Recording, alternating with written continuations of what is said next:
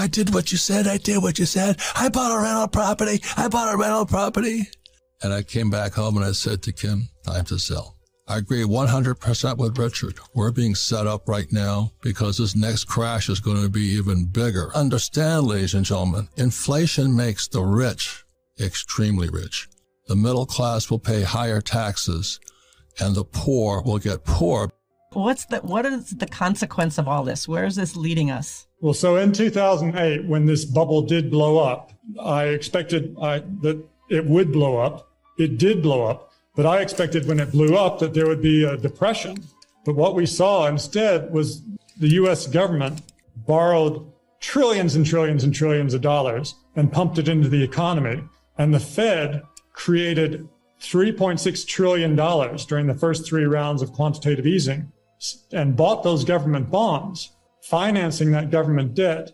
If the Fed had not bought those bonds, if the Fed hadn't created all that money, the government couldn't have borrowed so much money without pushing interest rates to an extremely high level.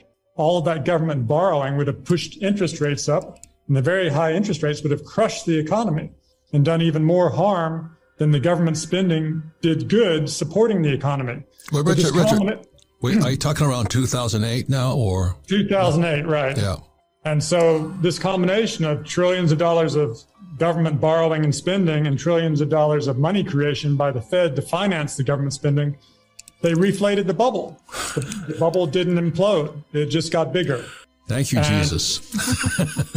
and then it's been it's been an exact replay of that again in 2020 and 2021. For instance, in the last two years, 2020 and 21, because of COVID, um, the economy started to collapse again. And in those two years, the government has borrowed $6.3 trillion, increasing government debt by 27% in two years. And the Fed has created $4.6 trillion to finance that government debt. In other words, by creating this money, the government's financed 73% of all the money that the government has borrowed, the Fed has.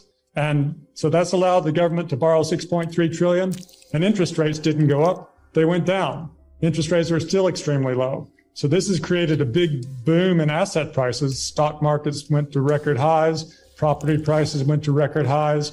Uh, all kinds of wild asset classes went to record highs. So they, they kept the economy from collapsing again in the same way this time as they did in 2008. So the reason that Richard Duncan is our friend in 2008 when the subprime market collapsed, all of these guys who were flipping houses and all that, they got hammered. They got hammered. Now the good news was because we knew Richard, he says, hey, they're going to do it again. So while everybody was losing money and housing prices were dropping, Ken McElroy, Kim and I borrowed $300 million because they were giving away money again. They saying, hey, please borrow this money. So Ken, Kim and I borrowed 300 million in 2008 and we bought leveraged up. We bought so much real estate as all these losers and flippers and real estate agents were crying the blues. We were getting rich. And then on September 17th, 2019, the repo market blew up. And I went, here we go again, because what happened in just before 2008, the repo market blew up there again. So that's why I'm saying to everybody, Richard Duncan is a guy you want to listen to. And he's got his new book out here, this book, The Money Revolution. I can't wait to read it. But Richard also has a service called Macro Watch. So rather than, you know, listening to Jim Cramer on CNBC, I listen to Richard Duncan and understand what's going on in the global money supply because this next crash is going to be even bigger. And that's what Richard is going to be talking about. Am I correct, Richard? Uh, that's well, we're we're we're at a, a, turning point now. It looks like because the monetary policy is moving from being ultra loose to becoming ultra potentially tight. ultra tight. Yeah.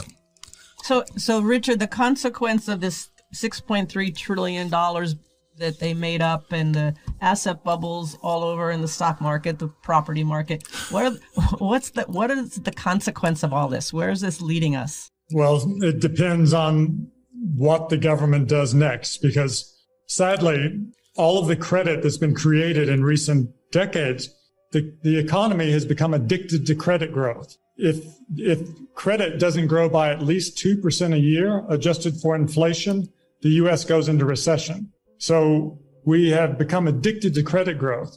And the amount of total credit in the country is so large now that only government borrowing can keep it make can make it continue to grow. The private sector just doesn't have enough uh, income to service enough debt to make credit keep growing. So we've really reached the point where the future depends on how much the government borrows and how much money the Fed creates to finance that borrowing. So that's the bad news. When I hear people coming up to me, oh, the price of real estate going up and they're jumping in to buy real estate right now, I don't say anything. And the reason is, is that people are just getting into the hype.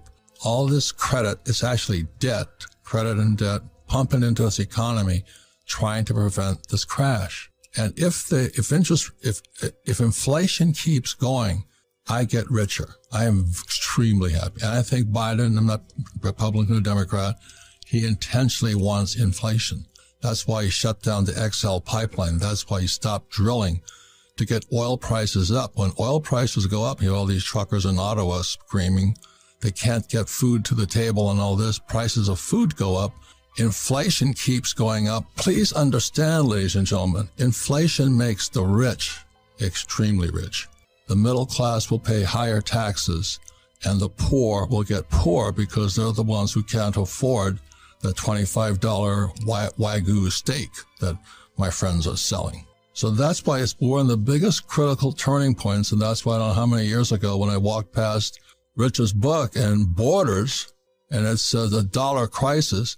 If you understand what's going on, the problem is the US dollar. Because in 1944, it stopped being money. It stopped, you know, it just became the reserve currency of the world. And then 71, Nixon took the dollar off the gold standard.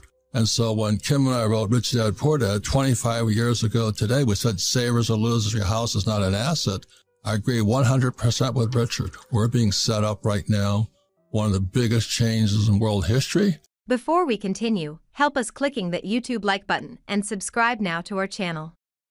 This shows the algorithm that you valued this information. And it helps us spread that message. Sharing is caring. And now, let's continue. Do you want to know one thing about crypto?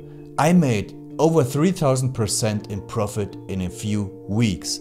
Fact is, the traditional financial system, the traditional money system makes you poor, not rich.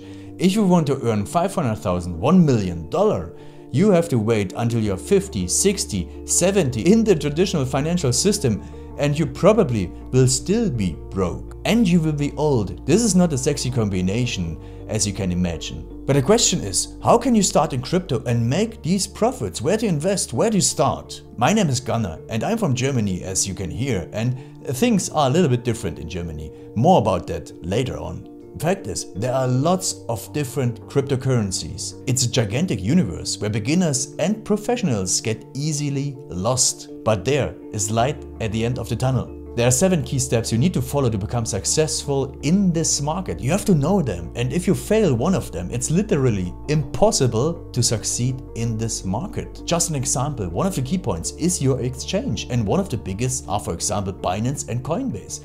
These are trusted and well-established exchanges, but, and this is a big but, you won't find the super profitable coins on those exchanges. The unknown super profitable coins that get gigantic profits are not traded on those kind of exchanges. They are traded on much smaller insider platforms that are barely known. And I can tell you what those super secret exchanges are and why they are so profitable. And another super important thing are the right information sources. The point is, the internet is gigantic. There are hundreds and hundreds of YouTube channels, blogs, pages and much, much more. And there are also market makers and influencers. For example, Elon Musk, he is not a crypto guy, but the moment he recommended Dogecoin, it went through the roof, to the moon so to say. But why did he recommend it? Where did he hear it from? He didn't hear it from newspapers. And believe me, he is listening to someone. But you have to know who and you have to react before he is reacting. This is really, really important. And these are only two of the seven steps you have to follow in order to be successful in crypto. And if you want to know all of these steps in much more detail, and if you want to have a comprehensive checklist, here's what you should do. There is a link below this video. Click on this link and you will get the opportunity to subscribe to my channel. Click on the link and you will see a video where I explain the next steps. So see you soon. Click on the link now. I'll see you there.